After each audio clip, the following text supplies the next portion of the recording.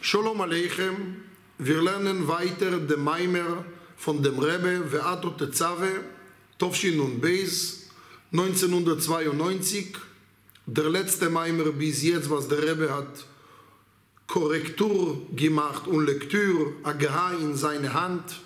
Und er hat das auch verteilt an Männer, Frauen, Kinder, plus zwei Dollar und Leckach. Und der Rebbe erklärt jetzt, um die Abfolge im Maimer, das Rebbe Rayatz, vorige Rebbe, zu verstehen, müssen wir einen Schritt zurückkehren und seine Gesamtstruktur untersuchen, zu beginnen zu erklären, was der Rebbe Rayatz hat gesagt.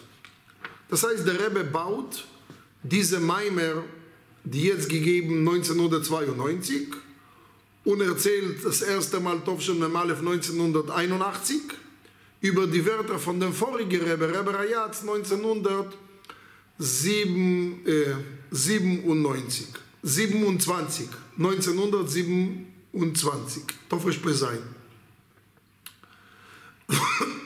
Was haben wir gelernt bis jetzt? Wir haben gelernt bis jetzt, dass Moshe Rabbeinu verbindet uns zum Oren Sof er ist der Hirte des Glaube, aber er verbindet auch zwischen uns. Er macht von uns ein guten Team. Team bedeutet Zevet. Dass ein Mensch hilft dem anderen. Wobei muss ich etwas sagen, Moshe Rabbeinu war ein Schafhirte in Mitzrayim, aber nicht alle Juden sind raus von Mitzrayim, leider. Nur Fünftel sind raus, das heißt, die meisten sind nicht rausgekommen. Weil sie haben an Moshe Rabbeinu nicht geglaubt. Aber beim Ankommen von Moschiach steht geschrieben, ki lo idach mimenu nidach. Also niemand, no Jew left, left behind. So gibt es so einen Schlager. Also niemand bleibt verloren. Und dann haben wir auch gelernt, dass Moshe Rabbeinu ist die Hirte bis heute. Und auch Mordechai Zadik hat gesammelt Gruppen, er hat verstärkt die Emunah, er hat verstärkt das Ausüben von Torah und Mitzvot. Und er hat auch die Leute gesammelt. Und die letzte Sache, was wir haben gelernt, dass wenn die Neshome ist zerbrochen, sie ist, wie man sagt, ein bisschen gepresst, da erweckt man die ursprünglichen Ohr. 1920, wenn, der Rebbe, wenn die vorige Rebbe hat gesagt, diese Maimer, war Josef Stalin der Chef in Russland. Und die Hasidim haben sich gesammelt in Moskwa. Und der Rebbe selbst wusste nicht, dass zwischen die 30 Leute sitzen auch Mashtafim, also äh, dritter Agent, also Spionen von ihrer Sektie. Und das beginnen wir jetzt zu lernen. Es steht in Schriftrolle Esther, und die Juden nahmen auf sich, was sie beim Geben der Torah begonnen hatten zu tun und das Mordechai ihnen schreibt. In andere Worte, die Annahme der Torah war nicht vollständig bis zur Zeit von Purim. Was heißt das? Es überrascht, sagt der Rebbe Rayatz, dass die Juden unter die persische Unterdrückung in der Lage waren, die Torah vollständig anzunehmen, während es sie die spirituell erhebende Generationen der jüdischen Geschichte nicht war. Der Vergleich zwischen den beiden Geschichtenperioden ist erstaunlich. Das heißt, der Rebbe sagt, lass uns jetzt sehen zwei Epochen in jüdischen Geschichte. Beim Torahgebung also vor 3333 Jahren, als Hashem hat gegeben die Torah, was war dort? In Matan Torah, bei die Torahgebung. Jüdischer Volk auf einer außergewöhnlichen hohen spirituellen Ebene gewesen. Göttlichkeit wurde ihnen beim Geben der Torah auf eine Weise offenbart, die in der jüdischen Geschichte beispiellos ist. Sie hatten gerade die Wunder in Ägypten und die Teilung des Meeres miterlebt. Also welche drei Sachen waren bei der Torahgebung? Sie waren selbst in die höchsten Stufe von Spiritualität. Höher geht nicht. Zwei Gottesbegegnungen von oben nach unten waren die höchsten seit immer und eh. Und sie haben selbst erlebt so viele Wunder in Mitzrayim und beim Auszug von Mitzrayim und beim Spaltung der Meer.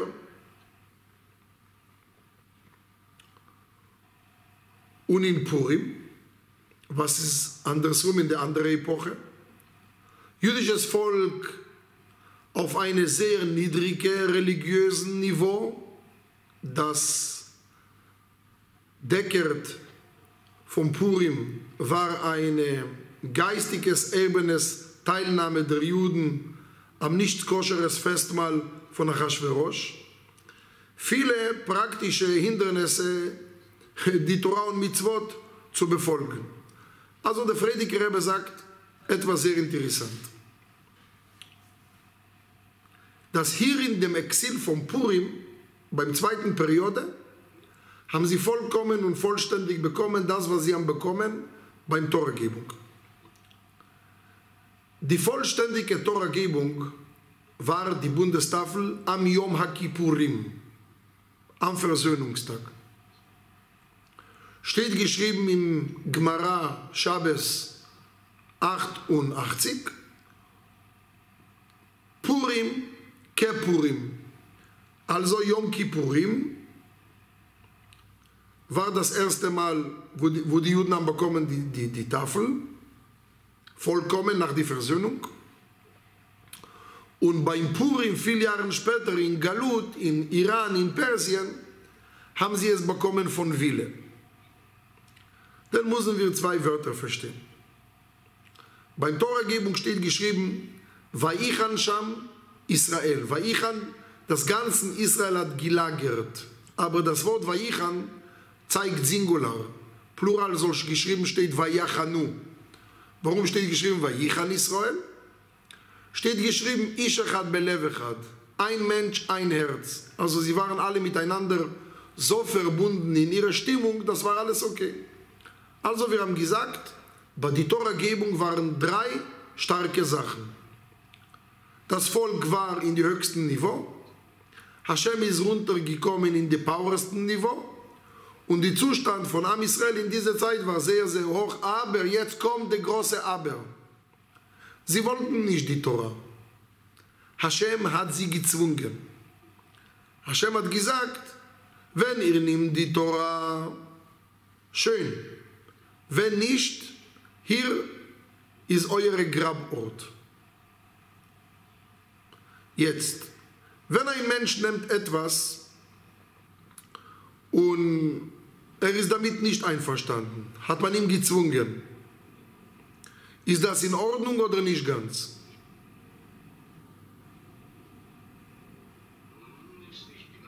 Nicht in Ordnung.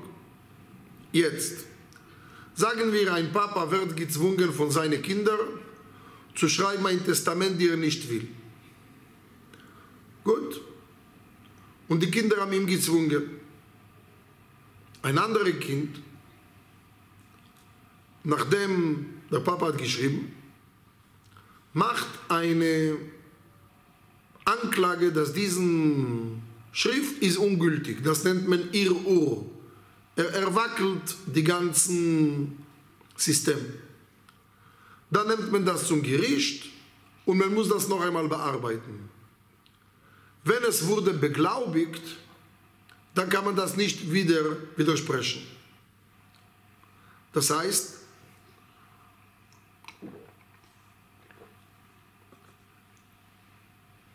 in einer Sache ist Toragebung Luchot Ashni, zweite Tafel am Yom Kippurim, ähnlich zum Yom Purim. Es gibt nur einen Grund, warum die Juden zur Zeit von Purim eine höhere Stufe errichten. Ihre Selbstopferung oder das Wort Mesirut Nefesh, Self-Sacrifice. Also sie waren bereit, sich zu opfern. Die Aufopferung dieser Menschen machte ihre Eigenschaften und Errungenschaften über länger als alles zuvor, sogar zur Zeit des Gebens der Tora. Sagt der Friedrike Rebbe, stimmt, bei der Toragebung, die waren oben. Hashem ist Maximum runtergekommen mit der größten Power. Sie haben gesehen Wunder, aber sie waren nicht dabei. Es ist nicht gekommen von, den, von ihnen. Die Aufopferung dieser Menschen in der Zeit von Purim war einzigartig. Sie weigerten sich, ihrem Judentum abzuschwächen und abzuschwören, was sie vor dem direkt Hamans gerettet hatte und geärgert hatte. Und noch mehr, sie erfüllen unter Mordechais Führung die Torah und Mitzvot öffentlich, um ihre Ingabe für das Judentum zu zeigen.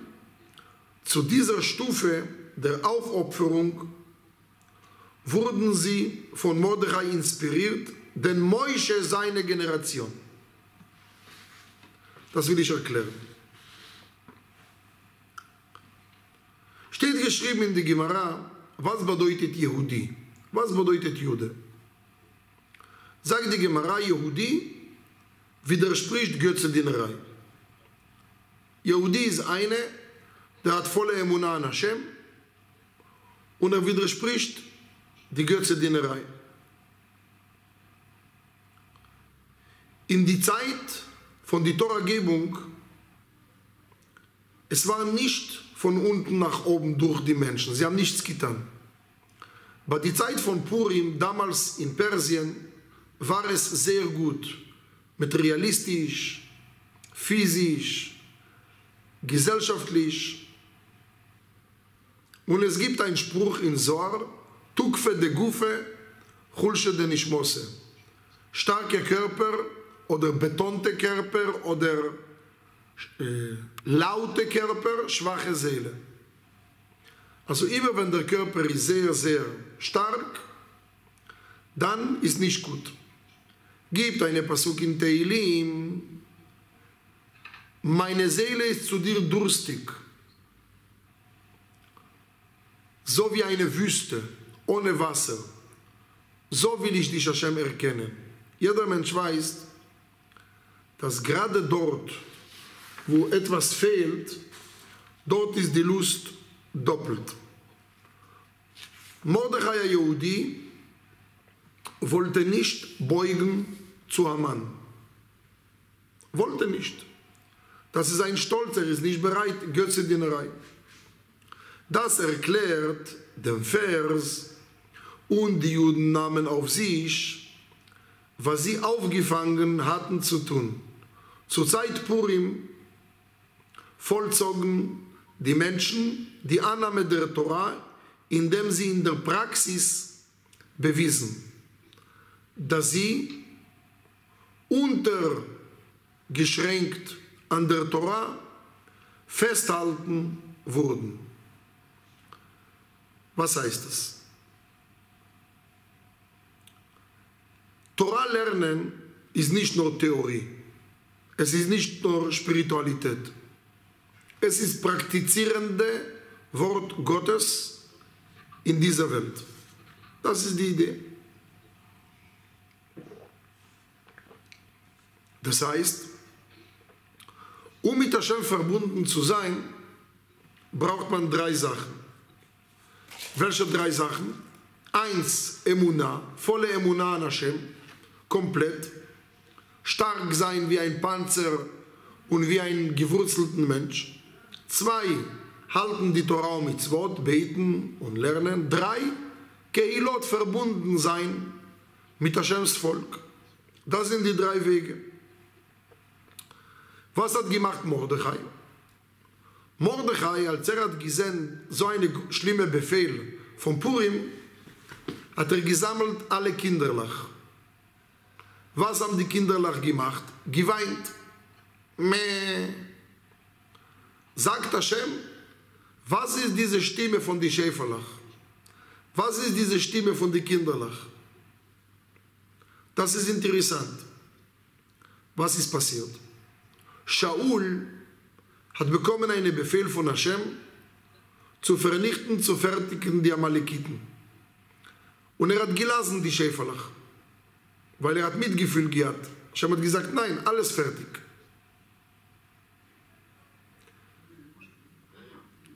Und dann, wenn Hashem sagt etwas, muss man folgen. Jetzt. Damit verstehen wir Vollführung, die Aussage in Maimer, dass Rebbe Rayaz, der Friedike Rebbe, wie die Messirut Nefesh, die Aufopferung, die Self-Sacrifice, Generationen von Purim, eine solche Erhebenstufe errichte, die Aufopferung der Menschen stammte von Innersten der Seele, die Neshome, und rührte an das Innerste von Hashem. Wenn wir etwas tun, wenn wir möchten Hashem rühren, berühren, wir müssen selbst berührt sein. Es gibt einen einfachen Spruch. Dvarim היוצאים מן הלב נכנסים מן הלב. Wörter, die kommen raus von Herzen, gehen rein in Herzen. Wenn sie gehen nicht rein im Herzen, kamen sie nicht raus von Herzen. Genauso bei Hashem.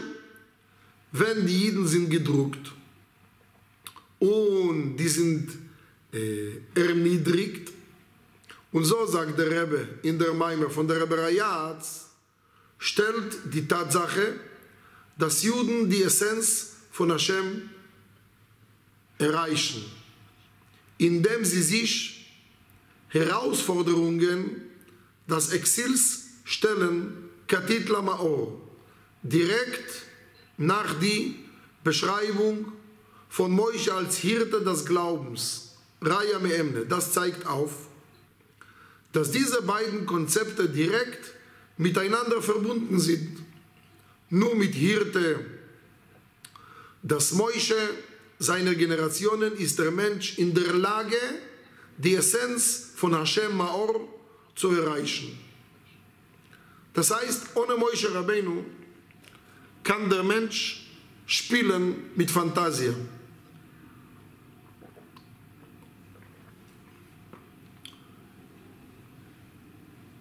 Zusammenfassung und dann gehen wir weiter. Es waren zwei große Zeiten jüdischer Geschichte. Yom Kippurim, die zweite Tafel, wo Hashem hat gegeben, und er hat gesagt, Salachtik ich habe dir verzeiht, und Purim. Bei der Torahgebung, bei Matan Torah, war eine höhere Position, aber es war ein Zwang. Es war ein Zwang. Hashem hat gesagt, nimm meine Torah, kafa alem harke gigit. Er hat sie wie ein Topf auf den Kopf gesagt, nimm die Torah oder nicht. In dem nächsten Teil erklärt der Rebbe im Detail, wie Moshe das innere Seele offenbart, damit der Mensch seine angeborenen Glaube in Praxis leben kann. Zusammenfassung.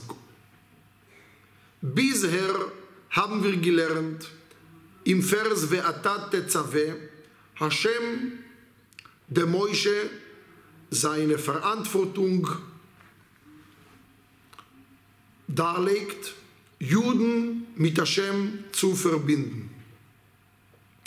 Jeder Jude hat bereits eine göttliche Seele und einen angeborenen Glauben an Hashem.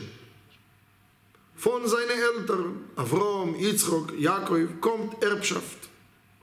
Die Aufgabe des Moische ist es, den Menschen dabei zu helfen, dass der Gottes Glaube in jeder Handlung zum Ausdruck kommt.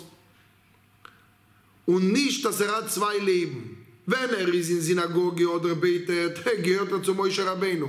Wenn er geht zum Arbeit, wird er ein Ganev. Nein, verbunden mit Moshe Rabbeinu bedeutet überall in alle Seiten verbunden sein mit Hashem.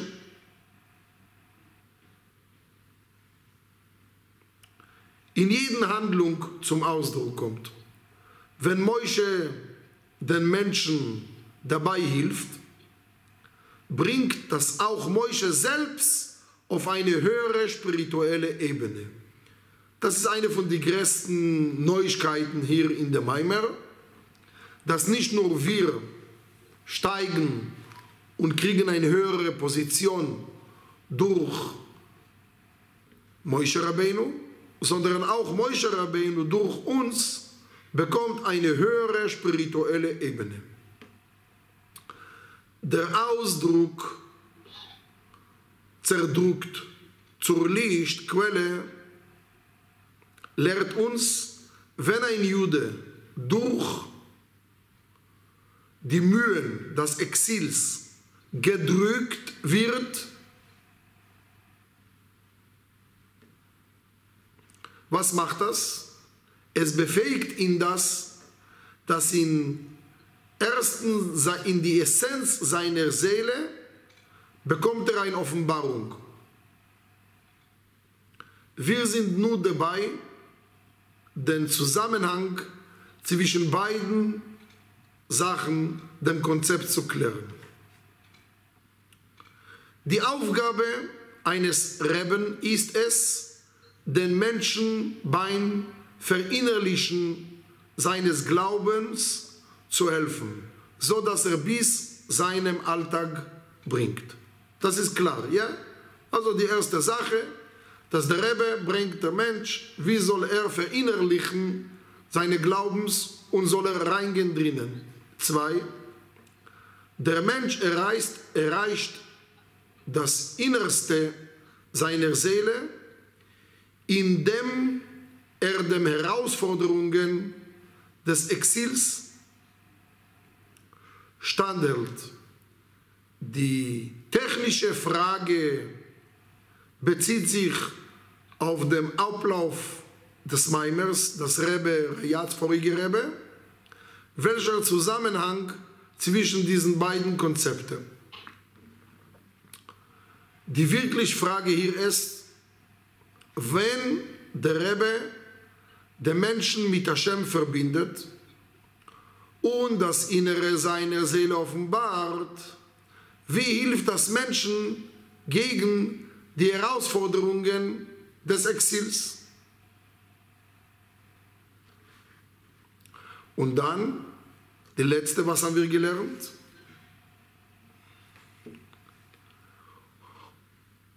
Wir haben oben erwähnt, dass Juden einen grundsätzlichen Glauben an Hashem haben. Dafür gibt es zwei Ursachen. Eins, die Seele hat viele Ebenen, also mindestens fünf. Nefesh, Ruach, Neshomo, Chayu und Yechide. Von denen einige innerhalb der psychischen Existenz zur Offenbarung kommen. Die Lebensenergie eines Menschen, seine Bewegungen, Sprache, Gedanken, es gibt weitere höhere Ebenen, die nicht zur Offenbarung kommen. Eine der höheren Ebenen der Seele, die, die zu spirituell ist, um die Begegnheit und Beengtheit eines physischen Körpers zu passen. Das heißt, Masolayu Chose. Die menschliche Seele sieht Göttlichkeit. Also nicht ich sehe, sondern, das haben wir erwähnt gestern, Masolayu Chose, mein Masel sieht. Die menschliche Seele sieht Göttlichkeit. Obwohl diese Fähigkeit nicht direkt innerhalb des Körpers offenbart wird, mit physischen Augen kann man Göttlichkeit nicht sehen, bewirkt sie, dass die Person einen Glauben an Hashem hat, die sie nicht erklären kann. Verständlich? Zwei, die Essenz der Seele ist eines mit Hashem, so wie eine Person sich in der Tatsache bewusst ist, dass sie lebt. Kann ein Jude die Existenz Hashem spüren, weil er nicht, weil er eine mit ihm ist. Das will ich erklären.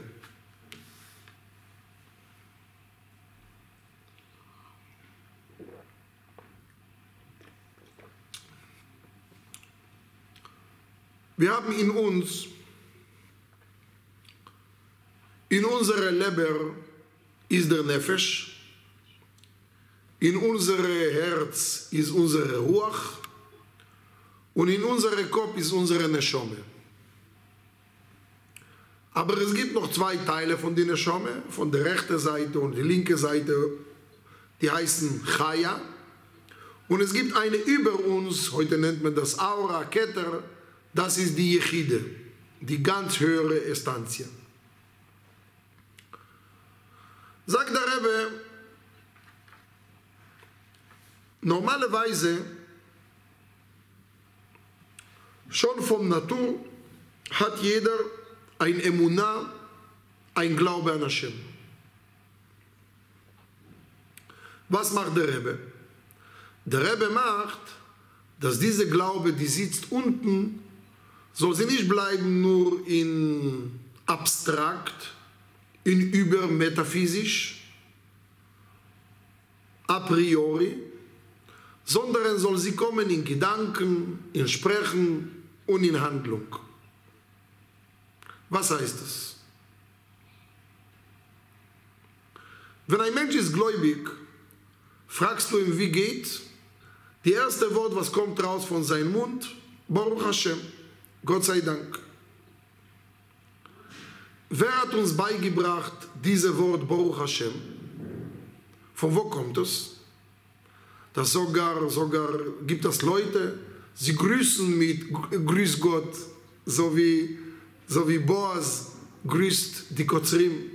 Von wo kommt das? Wer war der Erste in der Welt? Wo hat man ihn gefragt, wie geht's? Hat er gesagt, Baruch Hashem, Gott sei Dank. Wer war das?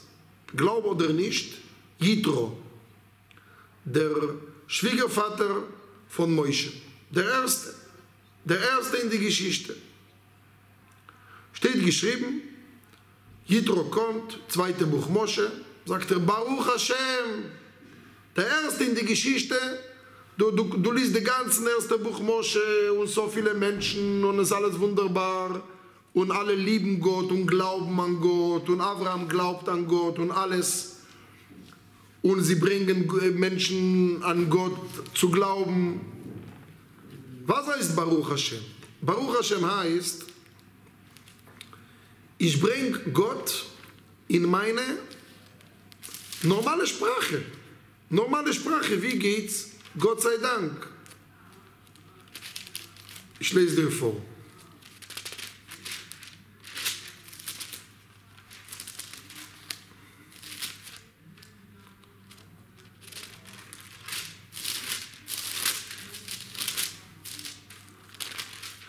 steht geschrieben,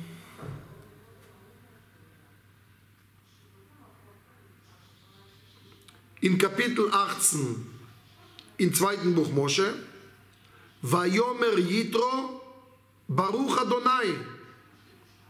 אשר הציל אתכם מיד מצרים ומיד פרעה אשר הציל אתכם מיד מצרים. אתו יודעת, also ich lese dir auf, auf Deutsch. Eine Sekunde. 10.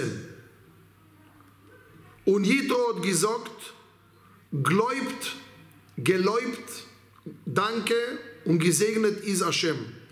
Was hat euch gerettet gewesen von der Hand von Mitzrayim und von der Hand von Paro. Was er hat euch gerettet von Volk von unter der Hand von Mitzrayim. Jetzt weiß ich, als Adoino ist größer von alle Götter. Jetzt weiß ich, als Hashem ist größer von alle Götter. Was heißt jetzt weiß ich, als Hashem ist größer von alle Götter? Warum? Weil er hat euch gerettet. Und er hat euch gemutwillig und das gekommen auf sie. Und gerade danach, wenn Itro sagt Baruch Hashem, gerade danach kommt die Offenbarung von der Toragebung. Das heißt, es gibt eine kleine Emunah und diese kleine Emunah heißt Baruch Hashem. Gott sei Dank. Steht geschrieben, dass der Baal Shem Tov, der Moshe Rabbeinu von unserer Generation, ist gegangen von Stadt zu Stadt, von Dorf zu Dorf, von verschiedenen einfachen Juden und er hat ihnen gefragt, wie geht's? Baruch Hashem. Wie geht's die Frau? Gott sei Dank. Wie geht's die Mischproche? Gott sei Dank. Und so weiter. Und das hat er gemacht und das hat ihm gereicht. Weil in dem Moment, wo, wo man sagt die einfachen Wörter Baruch Hashem, schafft man Hashem Krone in Himmel. Ein Tag kommt der Baal Shem Tov zu einem Dorf und in diesem Dorf, Dorf war eine heilige Tora Gelehrter, ein Parush, so wie ein Munch. Der saß in die Synagoge und hat gelernt Torah. Der hat nicht mal Zeit gehabt zu Menschen. Nur er wollte heilig sein. Wie sagt man, heilig mehr als den Priester. Also er wollte ganz heilig werden. Halten Gott bei die Knie. Der Baal kommt rein und er hat ihn mal ignoriert. Der Baal kommt zu diesem Porush und er sagt, Shalom Aleichem, wie geht's euch? Sagt der Porush, nicht stören jetzt, nicht stören jetzt, ich bin jetzt beim, beim, beim Torah lernen. Du kannst mich nicht jetzt stören. Sagt der Baal du bist ein Dieb, Shalom. Sagt der Mann, hat sich erschrocken, sagt er, ich bin ein Dieb? Sagt er, ja. Gott gibt dir gesund und Leben und alles. Und du kannst sagen einen einfachen Satz, Baruch Hashem, und ich sage dir Shalom Aleichem, und du bist so sparsam, so geizig, Hashem zu loben. Und es steht geschrieben in Prophet Jecheskel, und wir sagen das jeden Morgen beim Davnen, קודש יושב תהילו איס ישראל וקורו זה אל זה ואומר קדוש קדוש קדוש Adonai Zevaot, Melo Chol Haaretz Kvodo, die Engel Gottes von unseren Wörtern Baruch Hashem, Baruch Kvod Hashem im Komo, durch diesen Lob von Gott, auch wenn ich das nicht spüre, aber mein Masel, mein Neshome, sieht das. Deshalb, und damit beenden wir diese Ot, was wir haben heute gelernt, vier, dass der Friedrich Rebbe erzählt in Russland zu allen Juden, die er sammelt, 30 Leute, sei stark, sei bereit, euch zu opfern, achte auf die Kinder, weil gerade in dieser Zeit von Exil, was wir machen heute, ist viel mehr wert, als man etwas spürt. Was heißt das? Reb Chaim Vital, der Schüler von der Arizal, sagt, wenn wir heute in unserer Generation mit so einer Dunkelheit in der Welt doch irgendeine Mitzvah machen, durch ein Gebet machen, durch etwas lernen, es ist viel mehr wert als die höchste Stufe von die Tanaim und Amoraim und bei die Toregebung. Das heißt, wir sind doch gar nichts, wir sind gar nichts, wir sind ein kommerzielle Welt, die Hashem versteckt in jeden Kraft. Und trotzdem, wenn ein Mensch trotzdem bricht die Wolken und versteht, dass die Maor, dass die Licht, spielt keine Rolle, wie viel Wolken ist da, ist trotzdem die, die, die Kraft ist da. Es ist viel mehr wert, als wenn man das sieht. Bei die Torahgebung, sie waren hohe spirituelle Stufe. Hashem ist Maximum runtergekommen. Sie haben gesehen Wunder. Und trotzdem, Hashem hat sie gezwungen, die Torah zu nehmen. Warum? Es kommt eine edle Sache. Menschen mögen die Gefühle, die Spiritualität, die Ereignisse, die, die, dem Hai zu fühlen. Sie denken, das ist auch ein Teil vom Leben. Moshe Rabbeinu sagt, ja, es ist gut, aber das ist nicht die Hauptsache. Die Hauptsache ist, das umzusetzen in Handlungen. Die Hauptsache ist das, zu tun das, was Hashem will. Womit ist die Sache zu vergleichen? Mit einer Liebe von einem Mann und Frau. Liebe ist sehr gut, sehr wichtig, sehr angenehm, macht der größten Schmetterling. Aber man versteht nicht, dass diese Liebe ist nur eine Starter, um richtig zu fahren und richtig zu arbeiten und richtig zu handeln im tagtäglichen Leben. Wenn man will die ganze Zeit Starter, der Auto wird geht kaputt. Also man kann nicht fahren auf Starter. Moshe Rabbeinu macht zwei Aufgaben. Einerseits gibt er dem Mensch Starter, zweitens gibt er ihm Direction, wohin führt die Reise. Er gibt ihm eine klare Linie, was soll er machen, wie soll er machen. Es ist interessant, immer wenn Leute haben geschrieben einen Brief zum Rebbe, Problem mit Gesund oder mit äh, Parnosse oder mit Kindern, der Rebbe hat gesagt, lernen Sie jeden Tag Torah, sagen Sie jeden Tag Tehillim, geben Sie jeden Tag Tzedakah. Warum hat der Rebbe nicht geschrieben, äh, machen Sie jeden Tag Meditation? Weil Meditation ist gut, aber man braucht eine Handlung, die Hashem will. Man braucht eine Handlung, die Hashem in dieser Welt fordert. Und in dem Moment, wenn eine Frau zündet Kerzen und der Mann macht Kiddush und gibt Tzedakah und betet jeden Tag und legt Philin und Talit, das, was Hashem von ihm will, da ist die Sache sehr, sehr gut. Deshalb, die Seele hat viele Ebenen, haben wir gelernt. Manche davon spüren wir, aber manche, die, die Masalayu, die menschliche Seele sieht Göttlichkeit, obwohl diese Fähigkeit nicht direkt innerhalb des Körpers offenbart wird. Also die physischen Augen erkennen das nicht in die Kanäle von die Sinne, aber in, in die obersten Glaube, in die, in die Oberbewusst, in die höhere Instanz wird man das sehen. Mit Gottes Hilfe, nächste Woche beim Kapitel 5, da werden wir wirklich die, die Ursache von der Wirkung von der Seele, von dem obersten äh, Sache, das ist eine sehr, sehr spannende äh, Kapitel äh, 5. Und deshalb werden wir warten, dass alle sind äh, dabei. Shkoyach.